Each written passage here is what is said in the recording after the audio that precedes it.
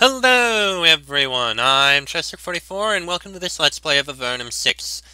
Last episode, we made our way up into the northern occupied lands. We found out to the west we're not going to find anything.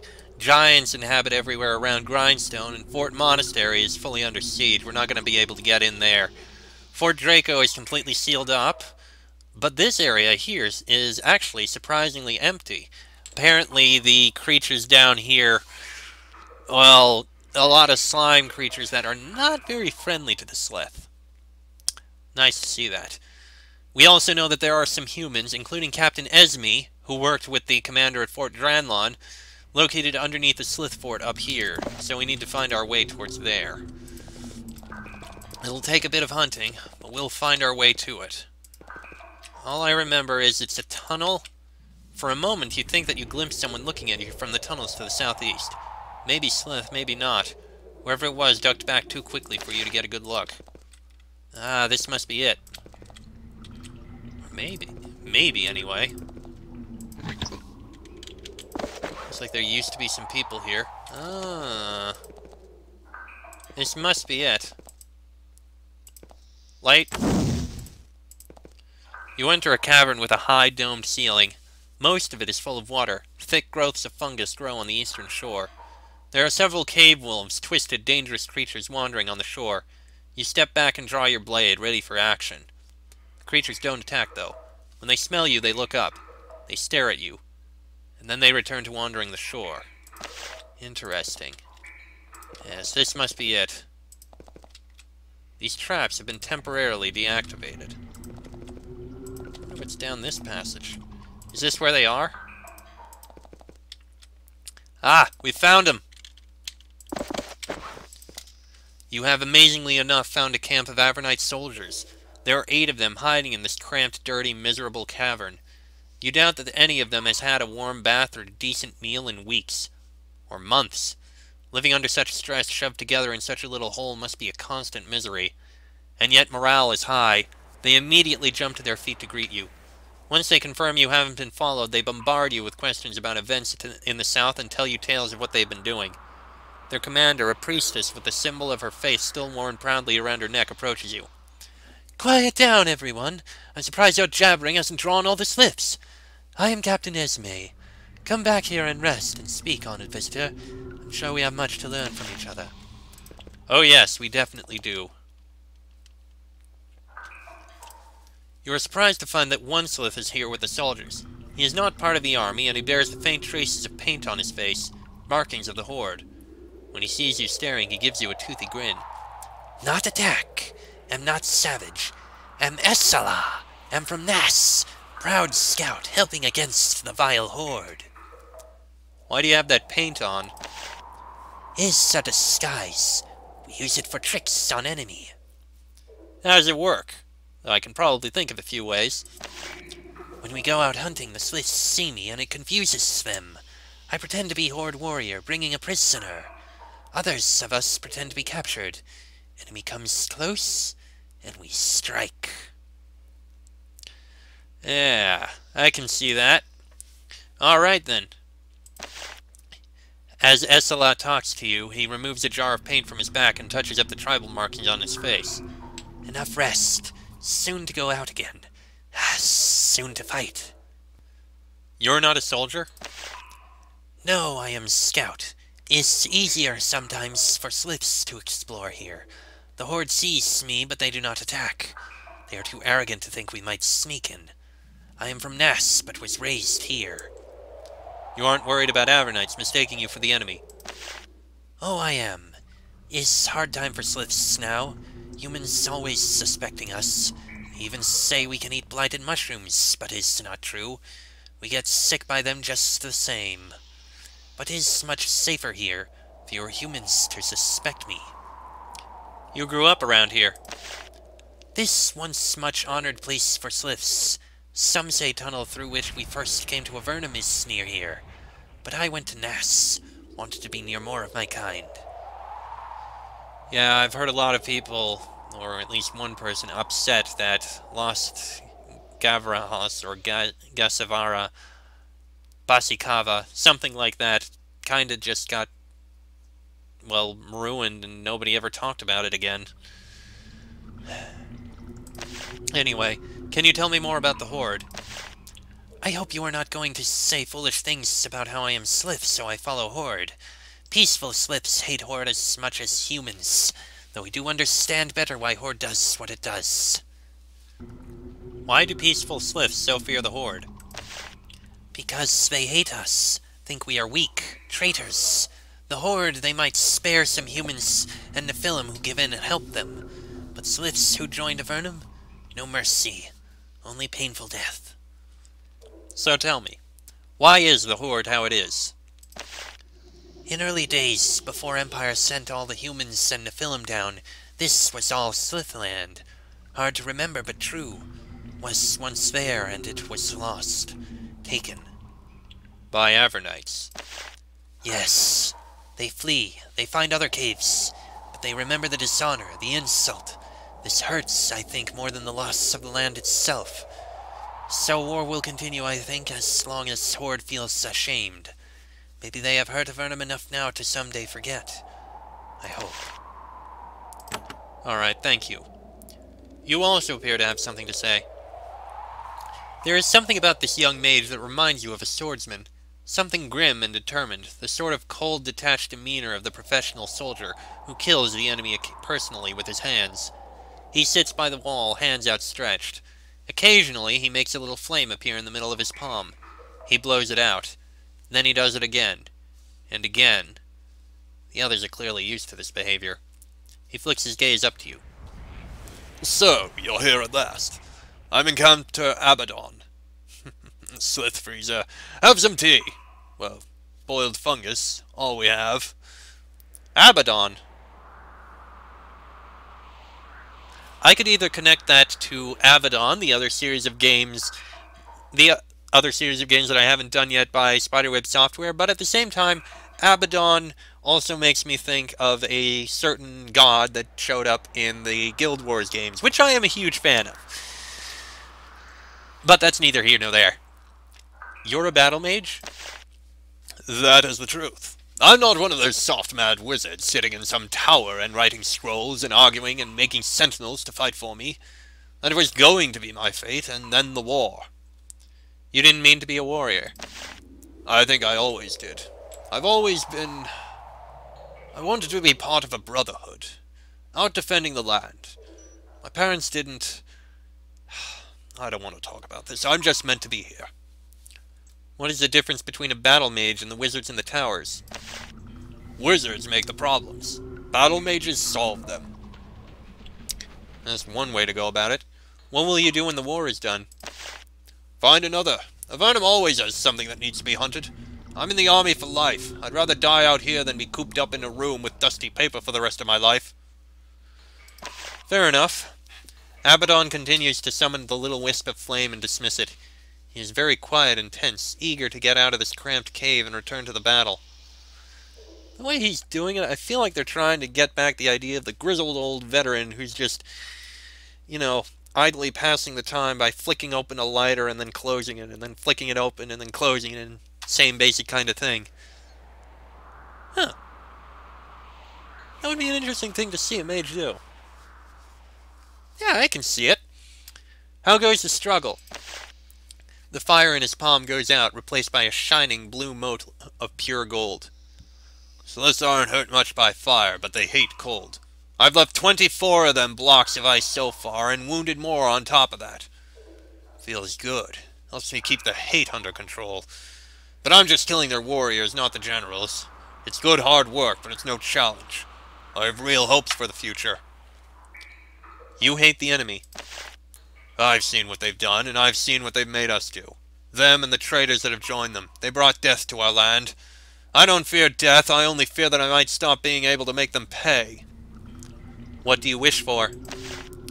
I want to fight as Kaelin, the Horde's head wizard. You know what they call her? The Man-Burner. Because that's what she does. She loves fire. She burns us to death. I want to give her a touch of ice. I'd give anything for it. Okay, take it easy. Don't charge in too... I don't know what the right word would be. Can you teach me anything? He lowers his voice. Captain Esme looks away and pretends to not hear what he is saying. There's a traitor to Avernum near here. Name's Kellar. Was Captain Kellar. He gave aid to the Horde in return for his worthless life. He's above us now on a little farm. Him and some other traitors all allowed to live. They have to die for what they did. They need to meet a traitor's death. Esme won't let me deal with them. Says it's not part of our mission.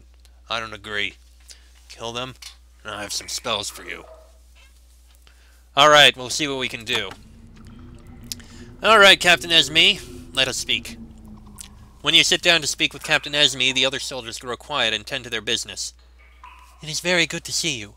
Being here to aid any infiltrators is part of our main mission. Things have been very difficult. Only great good fortune has kept us from being discovered and killed. She fingers her holy symbol distractedly. We have no supplies to give, only information, and we will be unable to travel with you. I can restore your strength when you are weak. But I may be getting ahead of myself. Tell me why you are here. I'll explain why you're here and what has been happening. As Esme and the other warriors listen intently, you explain what has been happening. The course of the war, the destruction of the Great Portal, the details of your mission. They are very disturbed by what they have heard. Esme nods sadly. And these are dark times. The Great Portal. That is a deadly blow. As for your mission, the only surprise there is that it took so long for the castle to get infiltrators up here. As I said, we will aid you as much as we can. What have you been doing up here? giving the enemy a taste of what they've been giving us. The, old, the other soldiers chuckle. Hiding, striking fast, hitting hard, retreating to safety, getting information. We were sent here to prepare the way for any infiltrators that might be sent. We were starting to doubt you would ever arrive, so we were just doing what we could. How have you kept from being found? There aren't many Slizurakai out here. Most of them are around Fort Monastery or on the front with Avernum. It's only that, skill, and luck that has kept us alive and it's helped that we were able to charm the pack of wolves outside. So let's have them search down here because they assumed the wolves would kill us if we came down here. I won't fool them forever. Have you had many losses? Everything gets very quiet. My healing powers have been useful. We have only lost a few. My condolences. How long can you hold out here? As long as the Horde's in our lands. The others nod approvingly. Bravado is all well and good, but we live from day to day, eating what we can steal and forage. We trust to luck more than I would like. How have you been striking the enemy? They send a lot of scouts and supply caravans around here, and sometimes the savages get complacent. We've killed, we've killed quite a few, but most of what we have accomplished has been in gathering intelligence. There are other things I wish we could have done if we had the strength. Go on. There are humans in Horde lands. Some are traitors, I'm not concerned about them. But some are slaves, worked to death. They should be freed. They'll probably die when running, but they will have a better chance than if they stay. One camp is southeast of Fort Draco. The other is southeast of Formello. I would love desperately to free them, but it's too far from my mission. We'll do what we can. I will not suffer slaves to live in slavery. Captain Esme sits with her back to the wall, resting her fingers on her holy symbol and thinking quietly. She looks at you. What else do you need to know? We're here to help you, after all, if we can. I need information. Of course. That is our purpose, after all. I know very little about the West. All we have seen is Fort Monastery, and we were unable to get close. No, we have repeatedly risked our lives to go east. That is what we have learned about. Tell me what you know about the Fort Monastery. It was when last we saw it under siege. A huge Slith force is outside the gates. Some of the Avernite soldiers within are still alive. I have no idea how. We wish there was something we could do for them, but it's too far and too well guarded. Don't go there expecting sustenance. Tell me about the east. Alright. First you need to cross the river to the east. Then there is Fort Draco, then the road to Formello, and then getting into Formello itself. It's a hard journey, and we are likely to be the last friendly faces you see. How can I cross the river? Well, there are two bridges over it. One to the north of Fort Draco, and one to the south. If I were you, I would make my way to the north bridge. The south bridge is next to a major encampment of the enemy. The best way to get to that bridge is to leave this camp and circle around the lake to the north. There's a passage that leads out. You can also return to the cavern above and try to find a way through the guarded gate to the north. What is the status of Fort Draco? Intact, but entirely sealed. It's now nothing but its big stone lump on the river shore. We've tried to break in there to get supplies, but no luck. We don't know how to get through the magical wards. Happily, neither does the Horde. What's the best route to Formello? Formello is in the middle of a large cavern. As you can imagine, most of the Slith Horde is there. Terrible place. There are two roads there, one north and one south. The road north seems to be generally less guarded than the south. The south road will most likely lead you into the center of their army. How can I get into Formello? I don't know. I was made to it was made to withstand a siege after all, and the Slith Horde have only built up its defenses. Trying to go into the front door would be suicide. But there is one hope, a slim one. When we came up here, we had four mages with us. Sappers. Sappers? They know how to make stone sentinels and get them to work. They came with us to infiltrate Slith lands and make tunnels. Where did they go? They split up. Two went west to Fort Monastery. Haven't heard anything from them. They're probably dead. Two went east to Formello. They said they were going to try to create a tunnel into the city from the northeast. As far as they could get from the army. What happened to them? They left, weeks ago. I haven't heard a word about them. Maybe they got there and accomplished something. If nothing else, going to the northeast corner of Formello will keep you away from most of their soldiers. That's all I know. I truly wish it was more. You can't spare any soldiers or supplies? Remember, I hate to put it this way, but if you fail in your mission, we need to be here to guide those who come after you. Understood. I need healing. Captain Esme closes her eyes, reaches out, and lays her hands upon you. They glow gently, and a strange, sweet smell fills the cavern. Soon you are fully rejuvenated. Esme smiles, but beads of sweat have appeared on her brow. Tiring, but worthwhile. I hope that you feel better. That is all I need and we will continue to hide here and do what we need to do. I wish you luck. Thank you. Alright, so, we have slaves southeast of Fort Draco and slaves southeast of Formello. Apparently, down here, there is a lot, there is a large force. We'll see if we can take a look at the, uh, at the river itself, but we're not going to go much further. We'll also see if what we can explore here, but apparently there's a gate here we can't get through. Most likely we're going to have to go north then around over the river, down past Fort Draco, then to the east. The northeast corner over here is apparently where we need to find. I'm not going to try and go up into the tunnels up here. We're probably going to have to deal with that sometime later. I have a feeling unsealing Fort Draco and breaking the siege of Fort Monastery are going to be two of the problems we're going to have to deal with. We're probably going to have a third, but I don't know when it's going to be. Possibly the Horned Gate. I don't know. For now, though, we still have a little bit of time left. Grab these lanterns. Let's, uh... Let's at least take a look up here, and we'll see what we can do. See if we can deal with that traitor. Nothing in either of those. Oh, wait. Grey mold. Handy. Okay, this passage... This leads into the... That leads into the gate. Should probably stay away from there for now. And that leads out the north side. Around the gate. Alright, we'll deal with that sometime, some other time. For now, let's explore south of the gate. While we can. Alright. Alright, let's explore a little bit. There's the gate. We'll try and stay away from it for now. Careful, stay away. Don't want to alert them too soon. Let's see. Looks like there's some sort of maze around here. Don't know what's going on over here. Oh, these are those worm tunnels. There's quite a bit over here. I suppose we can kill a few of these worms, but we'll probably save this for another episode. Alright. At the very least, do what you can to kill them all.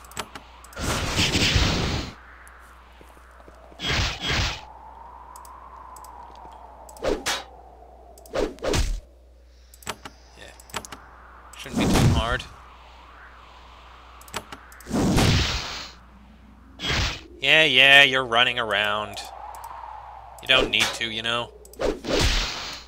Fine, let him come around to us. Then we'll kill them.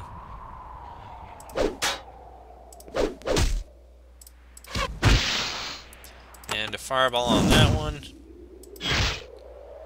Unless this is actually where that guy's hiding. Would Be interesting if it was.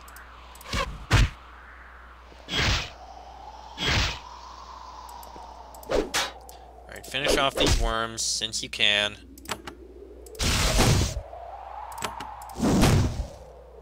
Blind burrowers. I wonder if we could actually sneak past them. Yeah, no matter. Uh, no passage there. Not much around here. I mean, there's passages and the like.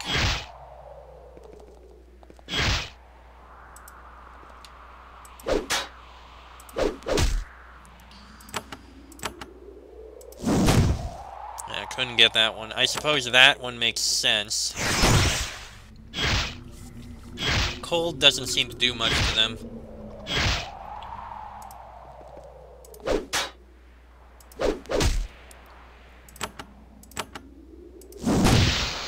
Nice shot.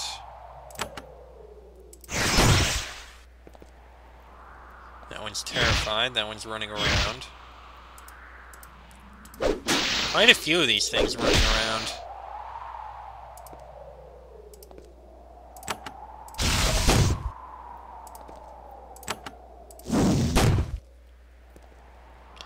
Yeah, yeah, they keep running around in these narrow tunnels. Just so they can get around to the other guys.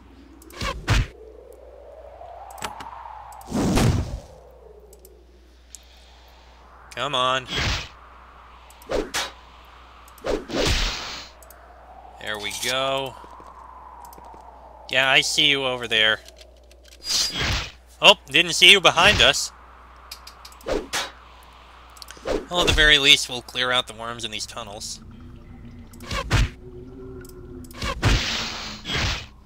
We'll explore the upper level of these tunnels probably in the next episode. There we go. That one's dead. Another look over there.